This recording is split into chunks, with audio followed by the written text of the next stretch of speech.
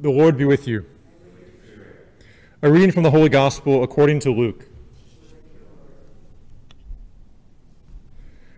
While people were listening to Jesus speak, he proceeded to tell a parable because he was near Jerusalem, and they thought that the kingdom of God would appear there immediately.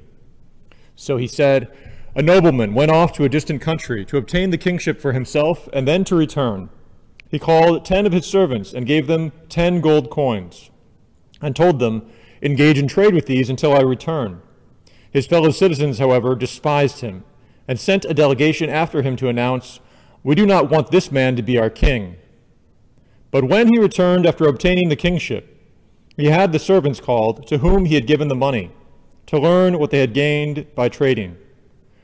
The first came forward and said, Sir, your gold coin has earned ten additional ones. He replied, well done, good servant. You have been faithful in this very small matter. Take charge of ten cities. Then the second came and reported, Your gold coin, sir, has earned five more. To this and to this servant too he said, You take charge of five cities. Then the other servant came and said, Sir, here is your gold coin. I kept it stored away in a handkerchief, for I was afraid of you, because you are a demanding man and take up what you did not lay down, and you harvest what you did not plant. And he said to him, With your own words I shall condemn you, you wicked servant. You knew I was a demanding man, taking up what I did not lay down, and harvesting what I did not plant. Why did you not put my money in a bank? Then on my return I would have collected it with interest. And to those standing by he said, Take the gold coin from him, and give it to the servant who has ten. But they said to him, Sir, he has ten gold coins. He replied, I tell you, to everyone who has, more will be given, but from, one, from the one who has not, even what he has will be taken away.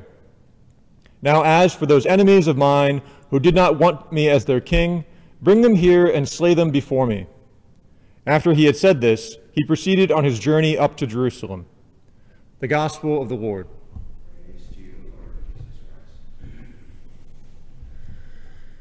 We see Jesus uh, today in a moment before he enters into Jerusalem, uh, a moment before he is uh, able to show us what his kingship will look like.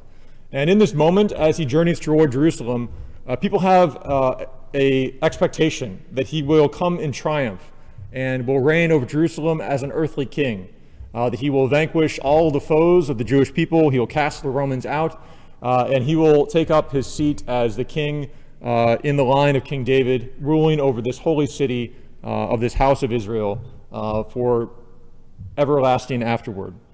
Obviously, this isn't exactly what happens. Uh, and so we can look in this reading today uh, and see all the ways in which Jesus comes not to meet our expectations, but to exceed them. Uh, he doesn't cast aside the kingly reign of the Jewish people. He doesn't cast aside the expectations of the people that Jesus would reign forever, that he would be a king uh, over Israel, uh, a good king who would never, whose kingdom would never end. Uh, he doesn't cast that aside, but he also doesn't meet it in exactly the way that they expect. Um, and this is significant that I think uh, all of us can look for a king in our life. All of us can look for a king who uh, satisfies uh, what we hope for.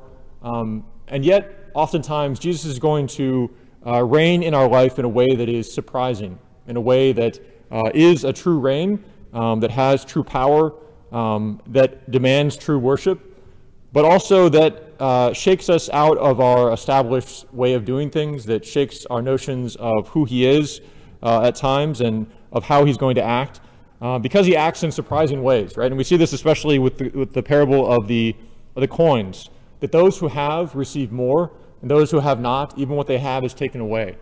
Uh, this is somehow contrary to expectations. This is not exactly what we would expect Jesus to do in this situation.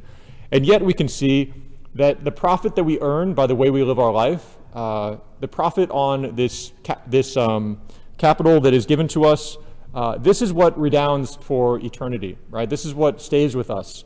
Uh, and what we're given in this life is taken away from us, right? This one coin that we're each given, uh, we have to give back. But whatever, whatever profit we make, uh, by trading in this coin, by using the gifts we're given profitably in this life, uh, redounds to us forever, right? And it's never taken away from us. It even actually is multiplied, that this one coin now becomes one city. uh, and we enjoy this profit uh, in the life to come. I think this speaks to exactly this experience of Jesus uh, being taken away as our king, right? This coin is taken away from us, uh, but then uh, is multiplied and given to us ever more fully and everlastingly in the life to come as more than we deserve, more than we expect, um, more than we can even perhaps ask for. Let's pray today that we can uh, worship Jesus Christ as our King, that we can serve him and worship him, uh, and so sh- show ourselves to be good servants who will receive a reward in the life to come.